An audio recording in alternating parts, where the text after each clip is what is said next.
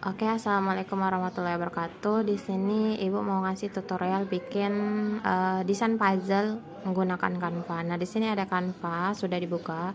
Nah, kita pilih template. Pilih template. Nah, di sini kita pilih ketik aja puzzle. Nah, puzzle. Nah, di sini ada gambar puzzle kan, banyak nih desainnya. Kita pilih aja yang di sini. Terus kita sesuaikan pilih. Nah, akan dia membuka tab baru Nah, di sini kan sudah. Nah, ini kita hapus aja.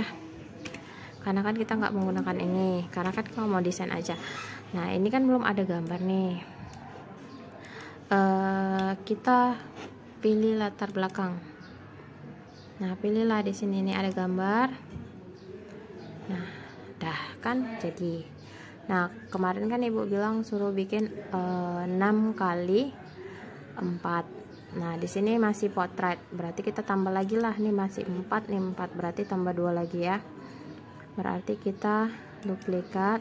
Nah, di sini kita pangkas dulu dia. Pangkas, kita crop. Nah, 2. Jadi deh. Terus kita geser.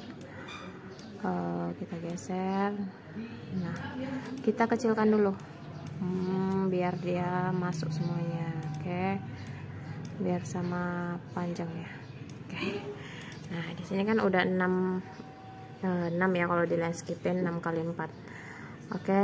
Eh, nanti di sini jangan lupa kalian taruh aja soalnya ya. Kasih soal. Begitu kalau mau yes gambarnya lain juga boleh. Oke terima kasih. Uh, sekian tutorialnya